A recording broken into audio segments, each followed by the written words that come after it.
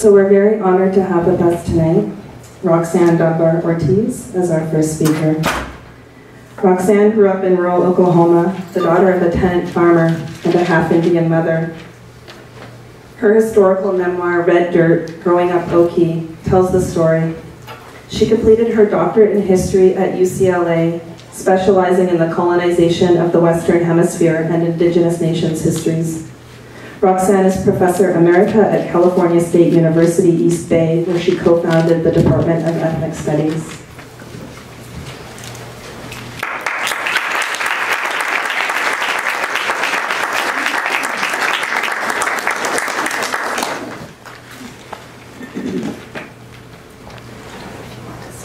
There's all this high-tech stuff here, so I- if I touch something I'm not supposed to, uh, may hear funny sounds. I'm going to, I'm going to set on my timer just so I keep track. Okay. I'm so happy to be here tonight. What a, what a great uh, group of people we have gathered here. Many uh, young people, glad to see a couple of children even. Um, being in the Native movement so long, um, when I go to meetings and there are no children, it seems so weird, you know, because generally, you know, the whole family comes to um, Native gatherings. So I, I like to see all the generations here, and I think that's happened tonight. Good to be here.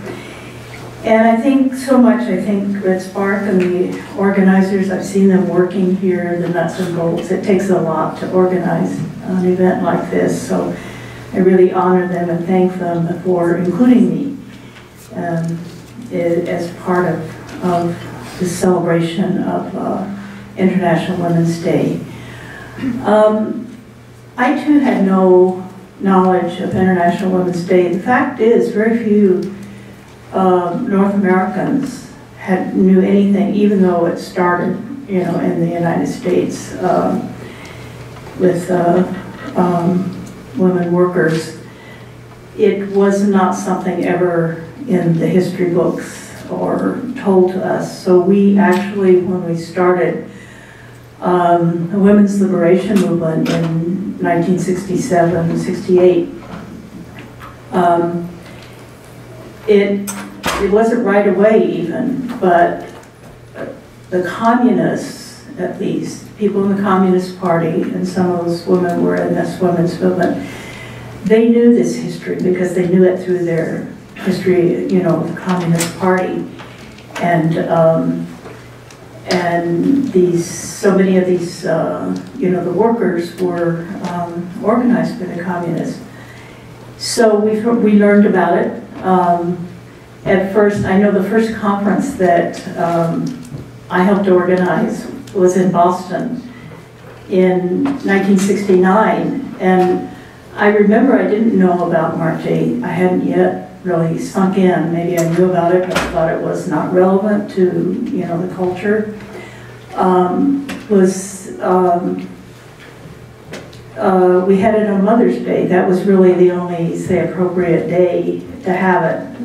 By the next year, uh, organized a conference and, and we did it on March 8th. And so that happened very quickly. I think it's a good example of how you can rescue history, you know, inspiring history, that it really is cut off from us, whether it's, I think more than any other people, and it's not complete, as we heard Carolyn uh, explain, that uh, there's a, a historical memory, there's a historical memory of, of boarding schools. That's, that's a part of the colonialism, but there's also a historical memory um, of, uh, of resistance, and, and in some places more than others. We have, I think in the United States, the Lakota people um, have um, maybe the strongest um, surviving very specific cultural memory of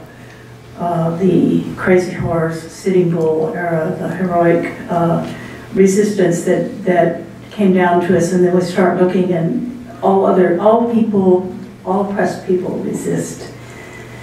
There's no such thing as not resisting, because they do resist, and you have to find it, you know, what is it, and bring it back alive, bring it to be a part of the oral history, but also to um, teach it, you know, get it taught in the schools, insist that it be taught to all the children, not just you know, the indigenous children, or if it's a working class history, um, to workers, but everyone needs to know that history. Um, so the People's History Movement um, began, you know, Howard's Zinn. Uh, it began before um, in a more radical way, and some of it began um, right here in Vancouver by a gentleman sitting in front of me here, Ray Bobb, and uh, Lee Bobb is now the Maracle. And I had the great good fortune of being in a, uh, our AIM Council, American Indian Movement Council in San Francisco. We had, uh, we were also a Marxist group, and most of us, I think, you know, really all of us were. Um, and we connected up in 1975 with the Native Study Group in Vancouver. And they were doing, um, I don't know if, no one seems to, that I've talked to here remembers Bobbi Lee, the life history of, uh, of Lee, uh, Bob Lee Maracle. And uh, that kind, we had to revive that kind of history, life history. Where it's the heroic history of someone's life, but it also tells the story of a period, a people, and I'd like to see that particular book revived, you know, put back into print and got to be a bestseller because I reread it not too long ago and it is still an amazing uh, document and a model for how we can write this history. So I think International Women's Day is um, what, what we need to do now. The, the UN has declared it March 8th is a UN uh, Day for Women all over the world. The, the month of March is in many, many countries, in the United States and Canada. And um, there have been International Women's Years and decades. In uh, the Decade for Women, the first one in the UN started in 1973 to 83, and conference, UN conferences. So very quickly that movement, within five years of its founding, had become global and international.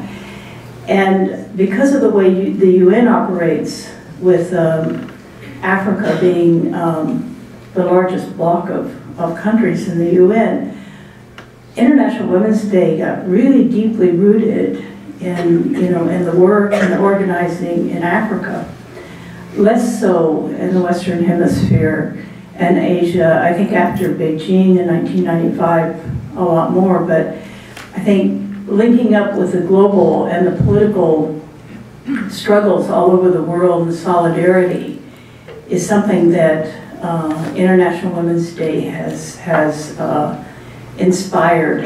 And it strengthens everyone, you know, to have but we need the radical edge of it. We need to, it to be brought back, um, not as a, you know, a glass ceiling. Uh, I don't even like the term gender equality because basically, okay, we live in this patriarchal world that, you know, capitalism and imperialism has, and settler colonialism has formed. Equality is like we want to be a part of that, you know, so I think what we really want is, is um, you know, for that other half, males, it is what, that's not what represents either, you know, the, um, um, the idea of equality in the societies that we now live in. I think we have to have to demand that. I mean, I think reforms that we have to be there, we have the right to be there, but to change it and not to you know, just be a, a, another uh, piece of the puzzle that just strengthens. Uh, and that's the way, you know, the women's movement, women's liberation movement has been used by capitalism, as Martha pointed out, uh, not only um, through imperialism to rescue rescue uh, women in, in um, Afghanistan and um, Muslim countries in general and here and there, um, but also to um, tap women's uh, energy and, you know, the ambition because they've been locked out. And it, it really uh, sucks, you know, has sucked the air out of the women's liberation, the radical women's liberation movement. And then a stereotype image of that period, that five-year period of its formation. It was a very radical initial formation.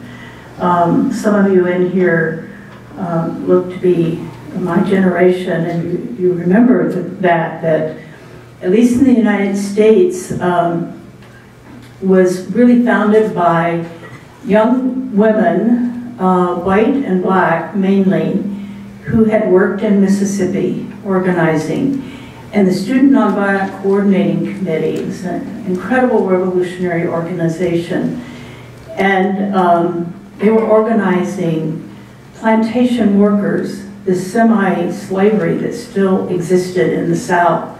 People who are illiterate, illiterate, never gone to school. They were doing a voting registration of these people who, you know, they were locked out of voting because they couldn't read and write. the literacy test. And that's how Jim Crow operated at that level. So they learned to organize. And then when Black Power came along and the Student Nonviolent Coordinating Committee um, told the non-African Americans in that uh, organization that they needed to go organize in their own communities. The women um, started talking about, well, what is my community? The, especially the young white women. What is my community? I don't want to go back to the suburbs of you know, Connecticut and, uh, and organize uh, there. I don't feel comfortable there. So there was this sense of, of, and I think it was brought up in SNCC, well, what about women? You know, so these, this were, and I was not in Mississippi, that wasn't my experience. I was actually, similarly, I guess, working with the African National Congress and really learning, um, learning, you know, about liberation movements and how that, that could be applied. Um, and I guess, you know, was really bounced by that um, into uh, joining in with uh, starting women's liberation movement. So it had revolutionary roots is what I'm saying that, and we should honor that and go back and excavate uh, that period of time and make that the tradition that we're celebrating. Not, you know, the glass ceiling stuff or Betty Friedan's um, oppressed, wealthy housewife uh, in the suburbs, um, that may be a cause, but that wasn't really, you know, that wasn't really the essence. And what's nice about the international, the UN um, uh, programs, is because of Africa and African liberation movements, because they were very, very new to the UN at that time. Um, the, there is that radical uh, element to what goes on internationally, much more than, um, and we need to bring some of that home and I think get involved more in the UN process at many levels. The indigenous peoples lobby at the United Nations that I've been working in since 1977 when we started the project. Um, it was actually 1974 um, that uh, this has it, it has it has literally saved the lives of many many people, especially in Latin America under the under the uh, dictators and the military regimes in Brazil and um, Argentina and Chile. So and it has helped strengthen our treaties. We now have a, a UN uh, study of treaties. That's an official uh, document of the United Nations, including Canadian treaties, indigenous treaties, and um, the United States. And it is, you know, it's it's not easy to shame these uh, governments into obeying international law. Canada in the past has been more uh, sensitive to being in line with international law. Um, but um, what it does, most importantly, is for the people, whether it's women or indigenous peoples, um, migrant workers, there's also a you know migrant workers treaty in the UN that very few people are, are using. Um, is it it gives a it gives a sense of being an actor in the world. I remember you know in Frantz Fanon's um, uh, Wretched of the Earth, he tells about the uh, he was working on you know propaganda on with the with the uh, uh revolution and they would broadcast the people fighting out in, you know, out in the mountains, out in the Atlas Mountains. Um, they would get the radio messages about UN resolution that went through. He said it was a, a matter of quitting, being so beaten that they would quit, to going on, to continuing. So that's, that's very important, you know, when you're on the edge of survival, that you have a spark. And that's what Red Spark is, right? um, so I think that that for indigenous peoples, it has been a, we have a special rapporteur on the rights of indigenous peoples. Um, the new one, I think coming in is going to be a woman. It was the two previous ones have been men. Uh, Vicky Corpuz, who's a colleague of Coma and uh, is a Filipina uh, indigenous person.